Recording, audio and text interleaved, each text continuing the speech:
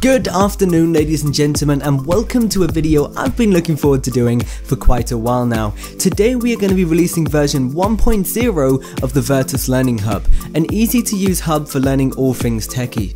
There you'll find everything you need to get on your way to becoming a developer working on bringing your dreams to life whether that's creating video games, websites, 3D models, and so much more. There you'll be able to find all of my courses broken down into easy to use sections, guiding you through the development learning curve, starting with going over the ins and the outs of the software, and then moving on to creating your own unique projects, such as a survival horror game or creating a unique website. All of my courses on the website are all rated and they're also given a level, so you guys know where to start and where to go, giving you guys a little bit of structure and making them a little bit easier to follow along with. There's a whole bunch of new updates on the way for the website and I'm going to be adding in features such as progress tracking and so much more. You guys can access the link in the description or you can also use the link on the screen as well. It's just virtushub.com, nice and simple. As always guys, thanks for watching and make sure you check out the video. If you're new to the channel, make sure you're subscribed and as always,